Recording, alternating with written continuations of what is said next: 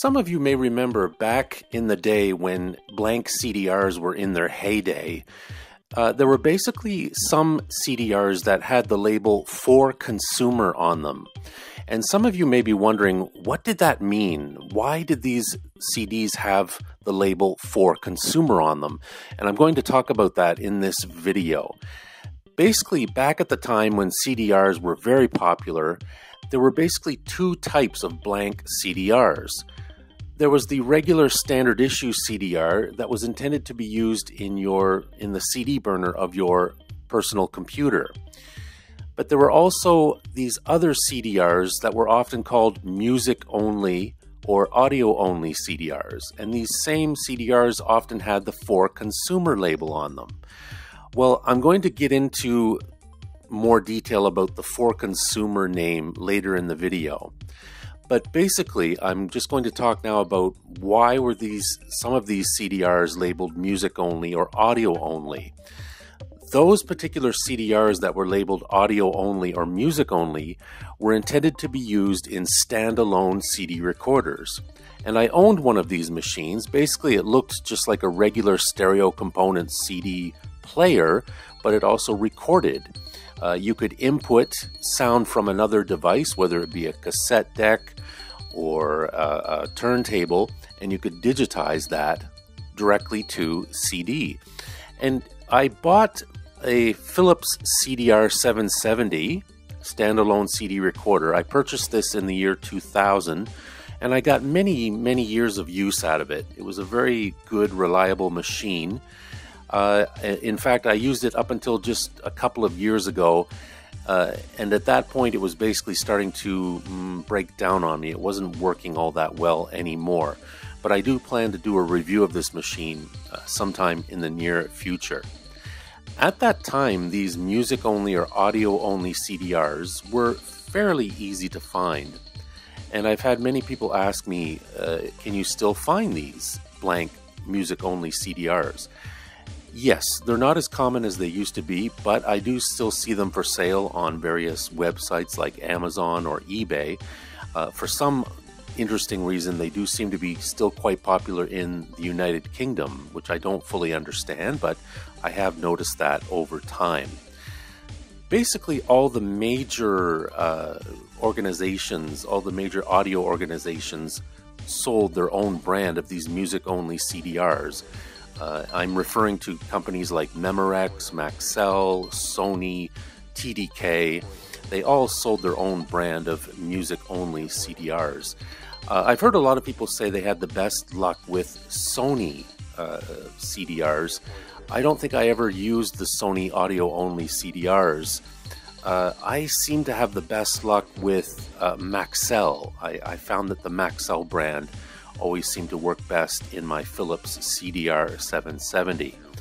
There were also blank CDRWs, audio only CDRWs, and I had a number of these and I used them over and over many times. They were very useful and very efficient, and uh, I still have a few that I still use from time to time. Something else that is very important that I will mention one thing that many people found frustrating about these standalone CD recorders was that they would only accept blank CDs that had the for consumer label. If you tried to use a standard issue regular uh, blank CD in one of these standalone CD recorders, it wouldn't work. It wouldn't accept them, and there would often be an error message that would pop up on the display of the CD recorder. So that was one thing that I certainly used to find frustrating that you had to use these specific blank CDs that had the label for consumer on them in these standalone CD recorders. And I guess this is uh, the reason for this is because for consumer blank CDs had a special code in them. And when you put the blank CD into the CD recorder, it would look for that code. And if it saw the code, if it recognized that you were using a for consumer blank CD, it would accept it.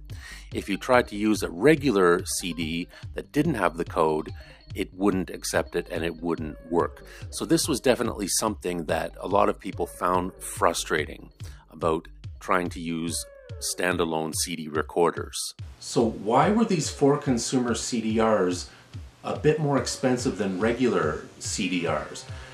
Well, a part of that was because some of the profit of these CDRs went to the RIAA, who are the Recording Industry Association of America.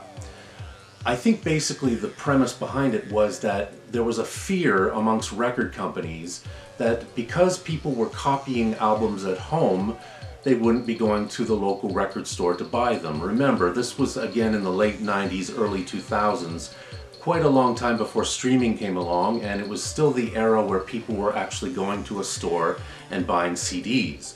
So the companies were a bit uh, scared about this. So as a way of recuperating some of that money that they figured they were losing with people copying albums at home on blank CDs, they came up with this for consumer tag, which involved a levy. It was also to comply with international copyright agreements. Uh, various countries would apply copyright levies to the cost of these blank discs intended for music. Now again, it's kind of funny to consider this in 2021 because again, everything nowadays is streaming. The sales of CDs have gone way down. I sometimes feel like I'm maybe one of the few people left in the world who still prefers to buy CDs. However, I am certainly the exception to the rule. Uh, again, this for consumer label I think was a desperate attempt to sort of recoup uh, some of the money they were losing. And again, it does seem to me that CDs are much more difficult to find nowadays on the market. Uh, I remember back again in the late 90s, early 2000s, they were everywhere. You could find them everywhere. Even the for consumer ones, uh, there were always at least a few stores in your town who would have these. And uh, they, were, they were quite ubiquitous and quite easy to find. But now it seems that they are less and less common. Um, and it's no secret that if you look at various laptops that are available on the market today, most of them don't even have a CD burner. So it's definitely something that has fallen to the wayside and kind of gone the way of the dinosaur. Are CDs completely dead? I would argue no. No format is ever completely dead, in my opinion. Back in the 90s, people were declaring that vinyl was dead, people very quickly nailed the last nail in the coffin of vinyl and they said that vinyl was no more. Well, as you can see, vinyl is stronger than ever and sales are through the roof and so that was very, very incorrect. People back in the day said that cassettes were dead. Cassettes are not dead, they're still around. There's still a lot of indie labels releasing albums on cassette. So in terms of CDs being dead, no, not entirely. I think they'll be here for a while.